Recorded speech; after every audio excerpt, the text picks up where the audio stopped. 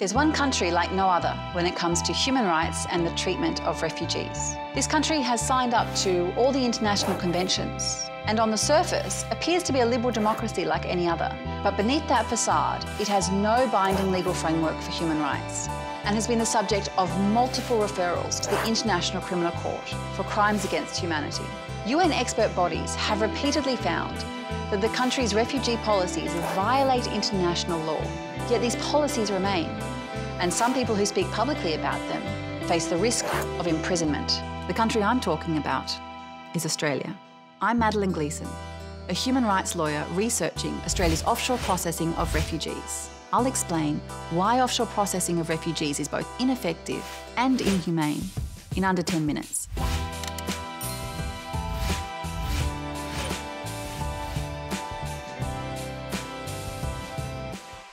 As a freshly qualified human rights lawyer, I started my career working abroad, first in Southeast Asia and then in Geneva.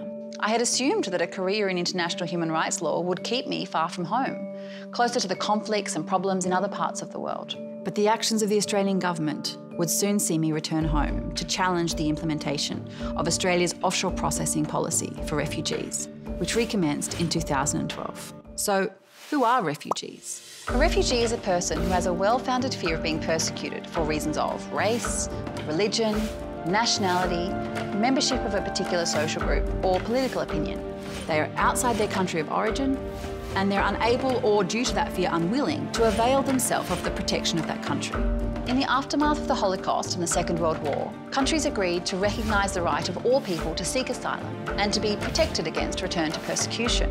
Australia helped draft the Refugee Convention, which sets out the definition of a refugee and the need to protect them from return to harm, as well as a requirement that countries not penalise people for fleeing places where their life and freedom are threatened. It's like allowing an ambulance to speed. When you're fleeing for your life, you just get out by whatever means possible.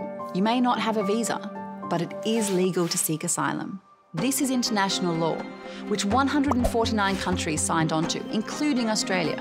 This has helped people to reach safety after fleeing wars like those in Vietnam, Syria, Afghanistan, Ukraine. It has helped people escape serious human rights violations when they're persecuted because of some inherent feature of who they are.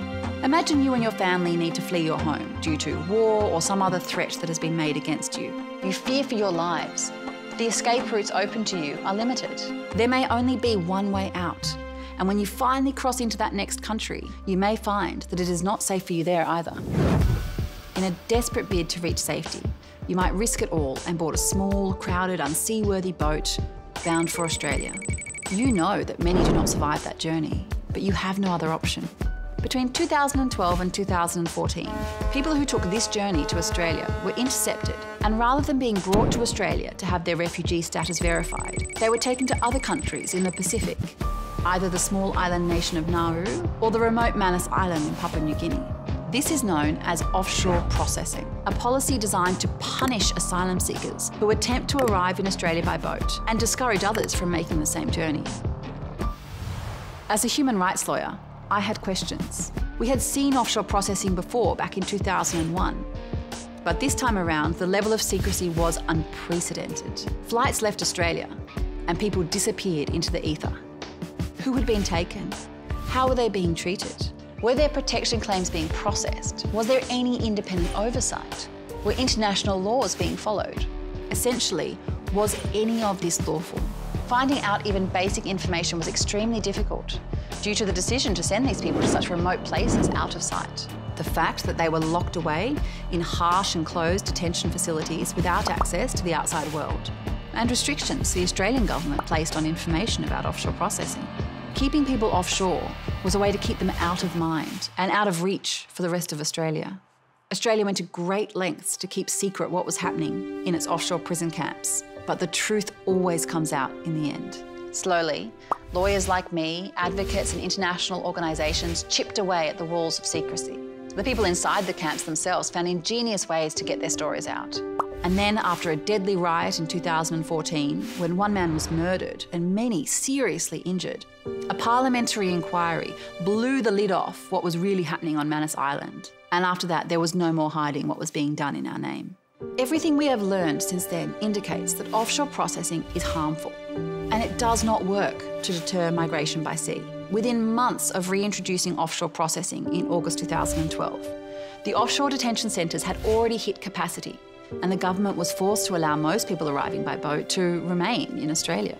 Successive governments sought to make the policy harsher in the hope that that might work.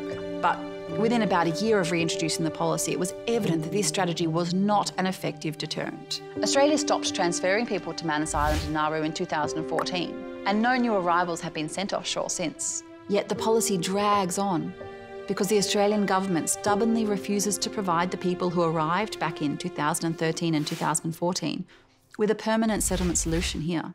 The vast majority of these people are back in Australia now, having been medically evacuated amidst spiralling health crises offshore in 2018 and 2019. Around 200 people remain offshore nine years later, still waiting for the Australian government to grant them a visa or find them somewhere else safe to live.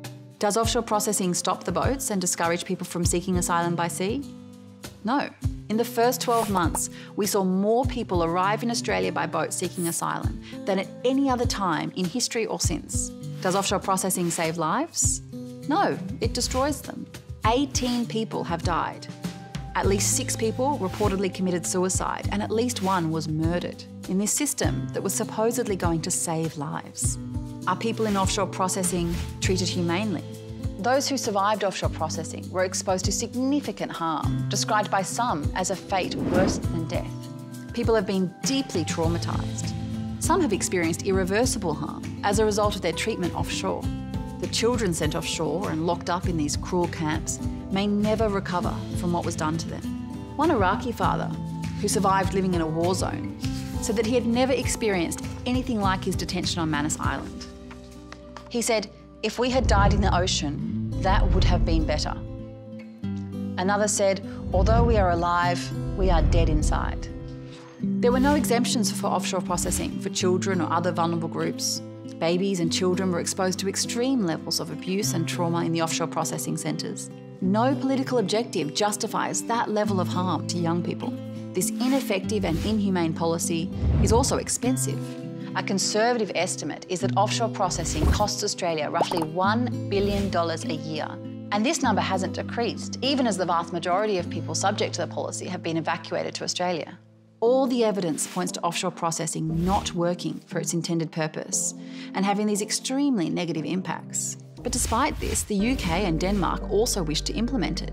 It's my job as a researcher and a human rights lawyer not just to ask these questions and gather evidence to answer them, but to do what I'm doing now to speak up and to ensure that Australia's bad policies are not picked up elsewhere. We do this by giving evidence to UK parliamentarians to encourage them to learn from Australia's mistakes. And I'm speaking up now to you. Offshore processing should never have been introduced in Australia. It is long overdue to end, and Australia's mistakes should not be repeated elsewhere. It is up to all of us to ask questions and speak up about these issues to ensure that people who are offshore are never out of mind, and those who have been brought back to Australia are permitted to remain here, safe and protected from the harms they fled.